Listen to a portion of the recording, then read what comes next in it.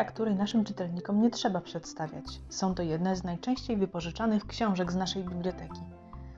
Kto z Was nie zna dwójki sympatycznych małych detektywów rozwiązujących zagadki kryminalne w niewielkim szwedzkim miasteczku Walebi?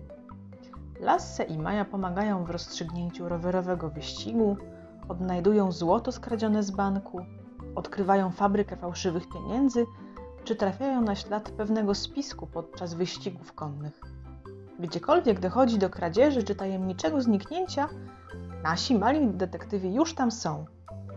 W serii Biuro Detektywistyczne Lassego i Mai ukazało się dotychczas w serii Biuro Detektywistyczne Lassego i Mai ukazały się dotychczas 33 pozycje. Która z nich jest Twoją ulubioną?